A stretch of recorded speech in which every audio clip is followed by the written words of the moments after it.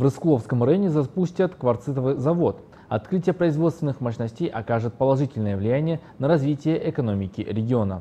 100 сельских жителей будут трудоустроены. Кроме того, будут увеличены налоговые поступления в район. Об этом сегодня сообщил Аким Жамбулской области Нуржан Нуржигитов на встрече с жителями села Теренузек. Его поддержали и заинтересованные инвесторы, приехавшие в район. Это связано с тем, что в Рыскуловском районе сейчас обнаружены большие запасы кварцитового камня.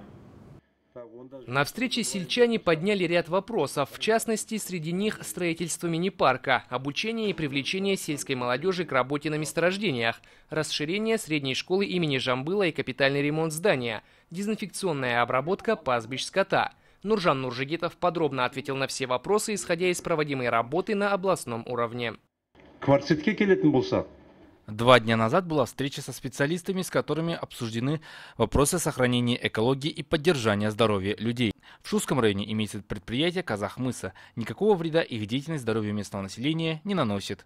Стоит отметить, что на территории округа ведется добыча кварцита. Предприниматель Бегасыл Тулендиев отметил, что в рамках проекта будет создано более 100 рабочих мест, на которые будут привлекаться в основном сельские жители. Аким области отметил, что предприниматель должен быть в тесном контакте с сельчанами и по возможности участвовать в решении их социальных проблем. В этих кварцитах содержатся примеси. Мы проверили в лабораториях. Вода, которая была в этом кварците, не является вредной, пригодна к питью. Населению не стоит беспокоиться. Кроме того, на встрече также было отмечено, что жителям района, недавно пострадавшим от грозы и потерявшим в общей сложности 26 голов лошадей, было предоставлено 10 миллионов тенге спонсорской помощи со стороны неравнодушных людей в качестве компенсации. Риналь Рахматуллин, Айкон Акпарат.